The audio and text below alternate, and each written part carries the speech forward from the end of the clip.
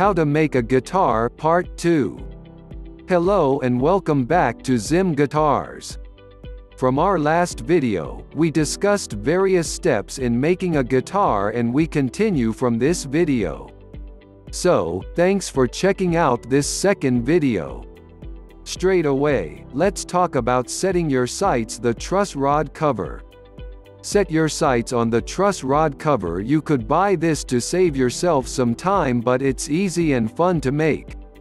Pick the material earmarked for the truss rod cover and make sure that you mark 1 8 of an inch of thickness all around the blank. After which you should cut the plate to the marked thickness. Draw the shape you want onto the blank then sand the edges till you are satisfied with the result. Test it out to make sure that it fits, then you can proceed. Make a truss rod. After this is done, you will have to craft a truss rod. If you are the DIY kind of person, you might want to make your truss rod yourself and we applaud your energy. But the process of making a truss rod from scratch is worthy of being a standalone video. Go back to your fretboard.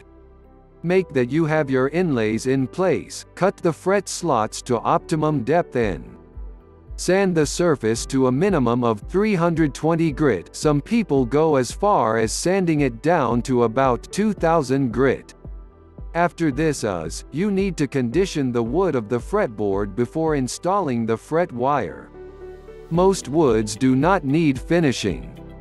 However, if you made use of maple wood for your fretboard, Make sure that you use high-quality wax to finish the fretboard. The next step is to drill the holes for where the tuners will be installed. Be very precise when carrying this out, you have to make sure that these holes are evenly spaced. Such that there will be no contact between the backs of the tuners. Also, the holes being drilled have to be precisely the exact size for the tuners. The final step towards completing the fretboard of your guitar is applying a finish coat on the fretboard. Mind you, it isn't necessary to do so. However, if you do decide to apply a finish coat, you can make use of Tru-Oil as it contains hardeners which give a waterproof finish to your guitar neck while also leaving no stickiness to the wood. Finish the guitar body.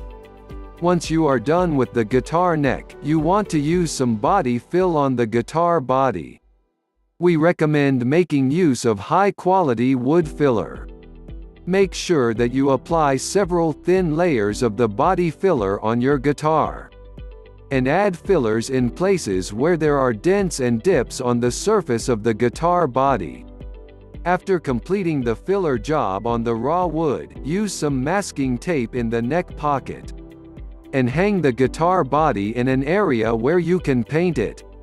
Use a high-build automotive primer on the guitar body before glazing it and applying spot putty. Apply a top coat to the guitar body. This process requires some level of expertise, therefore, we recommend that you outsource this part of the job to an automotive paint shop. However, if you think that you can handle this yourself, you can make use of car paint and some nitrocellulose lacquer on top of the clear coat before adding several coats of carnauba wax to it. Shield your guitar body.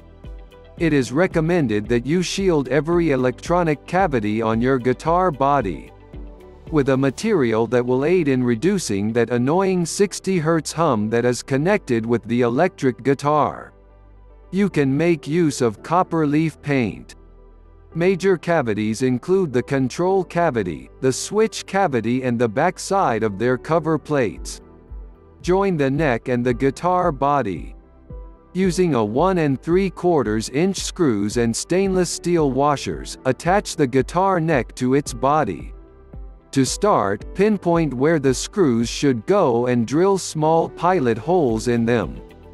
Attach some countersink holes at the back of the guitar body then clamp the guitar neck securely before drilling in the screws. And now you have a fully formed guitar body. Don't be in a hurry, these aren't acoustic guitars. You still need to work on the electronic components of the guitar. Wire up the guitar. Pass the pickup wires through the holes you drilled during the initial portion of building your guitar. Place the pickups into the cavities in the front part of the guitar, then proceed to fasten them firmly. Repeat the same process for the tone, volume and pickup selector controls. You also have to fasten the input of the guitar cord. To get this done, using 3 feet of telephone wire jack should be sufficient. All you have to do is strip down the wire and you are good to go. Using the schematics from the pickups that you purchased, you should find it pretty easy to connect the controls and the input for the guitar cord to the pickups. To get started with the connections, you need to have electronics soldering iron close by. The basic soldering iron should work just fine. Make sure to use electrical tape to mask any connections in the guitar to any short circuit from occurring later on. Cover the cavities and screw them shut once you are done with wiring up your guitar. Add strings to your guitar. We assume that you remembered to buy some strings as we stated earlier. String up your guitar using your favorite string gauge. Try playing your guitar for a bit before plugging it in, tune it as much as possible till it is perfect enough for you, take care to not snap your strings. Once everything is in order, plug in your guitar and see how your latest creation is holding up. It feels good to create your very own guitar, doesn't it? You might need to take it to the nearest guitar store to have some minor adjustments done. Such as changing the guitar's bridge pins or its saddle height. In conclusion, it might be a lengthier process than making an acoustic guitar but building an electric guitar can be one of the most rewarding moments in the life of a guitarist. You might even get a liking for it and decide to produce several more for your personal use or sale.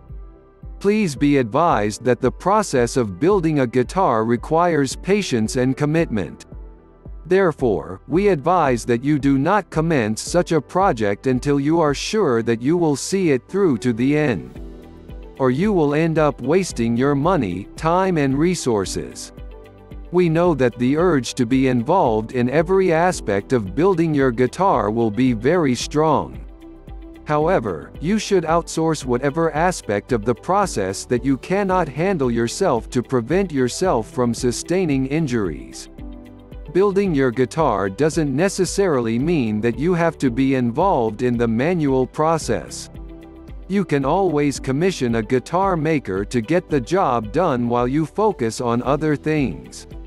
Also, we recommend that you make use of genuine materials when building your guitar. Cheaper isn't always better and striping your guitar after a short period for repairs isn't something you want to go through. If you've enjoyed this video, click the subscribe button below and hit the notification bell so you'll know once we post a new video. Also drop a comment below so we can know your thoughts. Finally, don't forget to check the description below for more details. And visit our site, www.zimguitars.com for more awesome guitars content like this.